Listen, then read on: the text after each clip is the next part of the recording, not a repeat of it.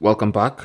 In today's tech tip, I'll be showing you how to take screenshots on the Samsung Galaxy A05s.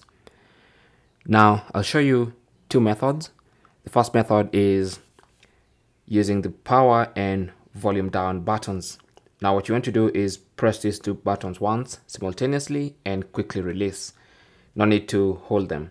Okay, so power button or the side key and volume down, press once and release and that you should see the screen flashing and it takes a screenshot. You can open the screenshot using the gallery app. Here we go. There's a screenshot we just took. Now let's do that again. So side key or power button depending on what you want to call it and volume down. So press once release screen flashes and it took a screenshot. There's obviously that quick settings panel there that you can use to crop or share quickly but if you go to the gallery, you'll find all your screenshots there. Okay. In fact, there's a special album in the gallery called screenshots where all your screenshots are going to be saved and organized. Now, another way of taking screenshots is by pulling down on the quick settings panel and look for the take screenshot option.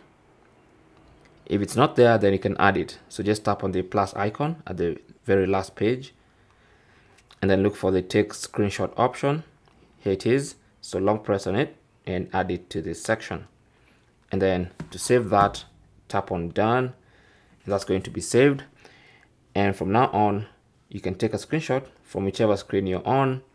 You can just scroll to the quick settings panel and then look for take screenshot. Tap on it takes a screenshot and then you have your quick settings for cropping and sharing down at the bottom. And that is basically the two ways of taking screenshots.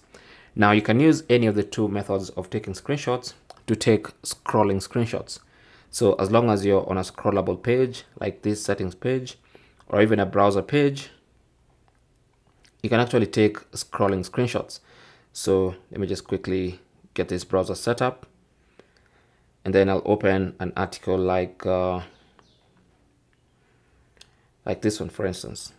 Okay. Now as you can see this is clearly a scrollable page. And you can actually take a scrolling screenshot of such a page using any of the two methods I've just shown you. So for instance if we come to the screenshot option here and take a screenshot quickly you'll notice there's a new button here that you can tap on and it's going to scroll. And the more you tap the more it scrolls.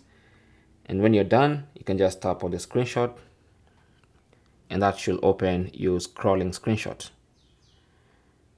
Now also the scrolling screenshots are saved in your gallery. So if you go to the gallery on your phone, especially in the albums, in the screenshots album, you should find your scrolling screenshot. Okay. Thanks for watching. Leave your comments and questions down below and good luck.